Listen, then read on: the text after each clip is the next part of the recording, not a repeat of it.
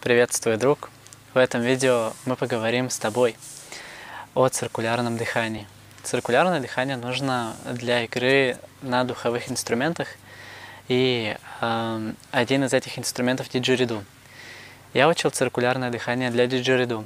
У меня, честно, ничего не получалось в течение, э, ну, может, таких годовалых ленивых тренировок. Иногда я пробовал, не получалось, я просто бросал. Пробовал я с бокалом с водой и с трубочкой. Значит, там была техника в том, что я вдувал, э, выдувал воздух из, э, изо рта, из щек. Э, и одновременно пытался вдохнуть. И при этом пузырики не должны были остановиться. Но два года назад мой корейский друг Син показал мне очень одну классную технику, которая э, мне помогла научиться э, циркулярному дыханию за пару минут, максимум 5 минут. А заключается техника в том, что нужно набрать воздух, э, или даже проще сказать, просто расширить щеки, рот закрыт, и дальше э, можно попробовать э, через маленькую дырочку э, в центре губ выдуть воздух медленно.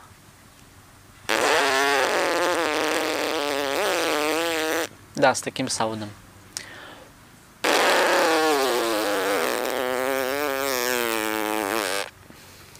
Вот. Должен выходить звук э, долго. Если не получается таким образом, можно помочь себе э, подыграть э, руками.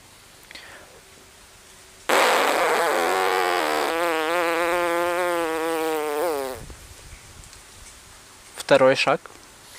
Нужно э, в то время, когда ты выдох, выдуваешь воздух таким образом, э, нужно вдыхать через нос одновременно.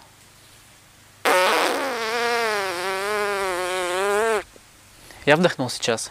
То есть там такой прикольчик, что мозг не верит, что выдыхая можно э, вдыхать. Но на самом деле мы здесь не выдыхаем изнутри.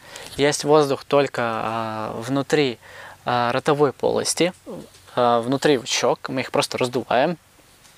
Я там даже воздух э, не беру, не знаю, просто раздуваю отсюда воздух не поступает. То есть отсюда не, не идет вот это вот выдыхание, идет просто изо рта. Вот есть такая, э, э, такая камера, получается, которая, в которой 100% воздуха. И этот воздух, он не пополняется отсюда. И этот воздух, он просто выходит медленно. И в это время просто за счет сокращения мышц, за счет сокращения щек, э, Просто вдыхаем также через нос. А, и получается циркулярное дыхание. И можно делать это снова, и снова, и снова, и снова.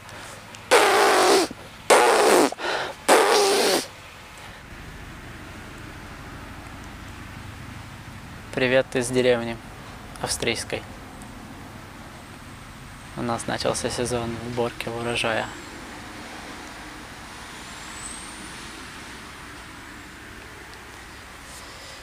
И вот эту технику можно использовать с диджериду.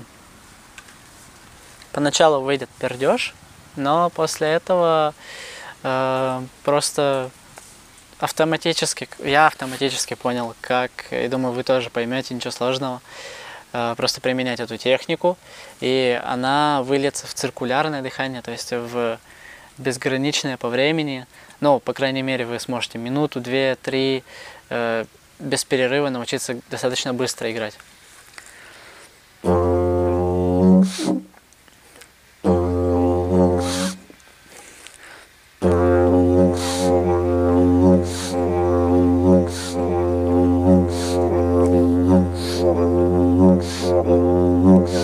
То есть то, что происходит здесь, это просто я набрал воздух в рот и потом сокращаю мышцами и контролирую, эм, контролирую э, вот этот поток, чтобы он был маленький, чтобы он, ну, оно достаточно медленно уходило, чтобы не быстро, чтобы было время вдохнуть.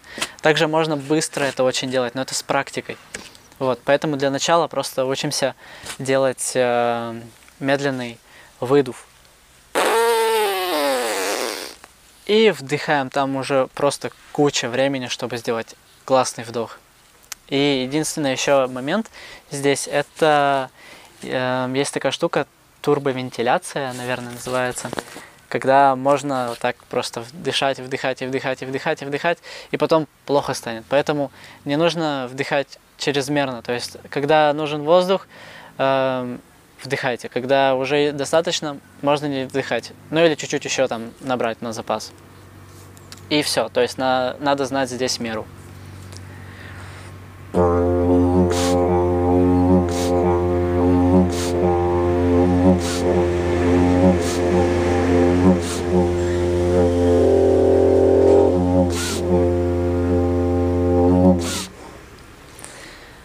Вот такая простая техника для освоения. Благодарю за просмотр. Ставь лайк, подписывайся, оставляй комментарий. И до скорых встреч. Благодарю.